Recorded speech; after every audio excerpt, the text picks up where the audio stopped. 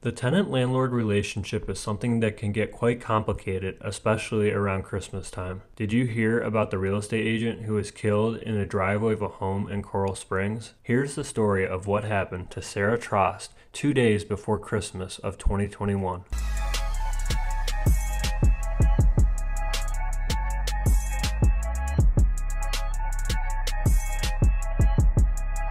Looking at the landlord tenant relationship in the simplest terms, when most people think of the word landlord, it tends to have negative weight to it. A landlord is seen by those who aren't landlords as powerful, wealthy individuals who take advantage of their tenants by collecting rent.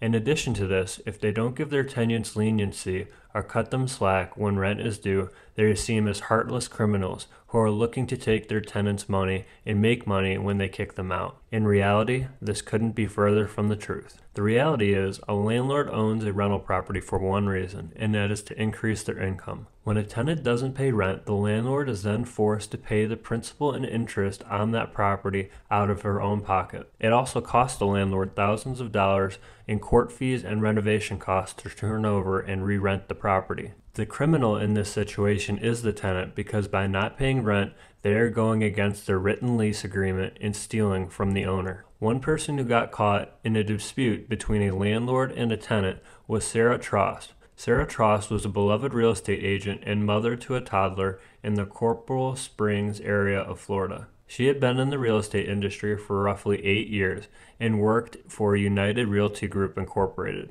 According to Realtor.com, the price range of the homes she sold in the past 24 months ranged from 143,000 to 780,000. She was sitting in her Jeep getting ready to show a home on the 48th court near Creekside Drive when allegedly a man walked up and fired multiple gunshots at her. At 12:33 p.m., the Coral Springs police said they received a 911 call about the shooting in the area of 5700 Northwest 48th Court. Paramedics tried saving Trost, but she was pronounced dead at the scene. A few neighbors also commented on what they heard.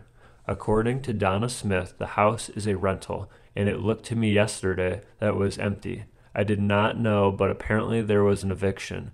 And there's a story behind all of this, but we just don't know right now. I'm devastated. It's just so shocking and very unsettling, especially this time of year. There was a disgruntled tenant who was evicted. He thought that the realtor who was showing the home was the owner of the home, and she was amused. She was sitting in her car.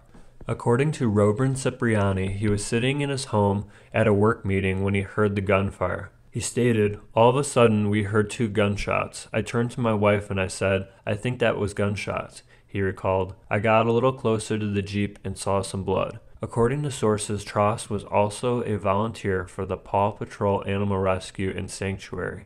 She fostered many dogs over the years. Rachel Lucara of the Paw Patrol stated, Our hearts go out to Sara, her daughter, her husband Jason, and her whole family her fur children, as well as her human child.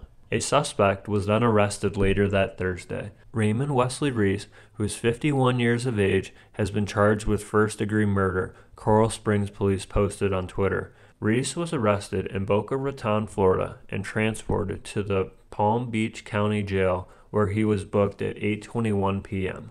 As you can see, the tenant-landlord relationship can be very scary at times. It brings to question many thoughts as to what took place prior to the tenant eviction and how the landlord went about removing the tenant. Investigators are still trying to get the full story on what happened. As we move to the future, another factor that's going to weigh heavily on this tenant landlord relationship is the end of the rent moratorium. Throughout the year of 2021, the rental moratorium has ended for many states. As we move into 2022, more and more states will get rid of their rental moratorium, allowing more evictions, which will increase the number of disputes landlords experience with their tenants. If you want to hear and learn more about other terrible tenant stories like this, be sure to check out our other episodes of the Tenants from Hell show. If you think this is the first time this has happened where a tenant has killed his landlord, you would be wrong. Be sure to check out our other stories titled 94 year old tenant kills landlord over chicken and eviction, and tenant brutally kills his landlord and hides her body in the woods. Thanks for watching. Subscribe to Holton Wise TV for more financial information, education, and entertainment.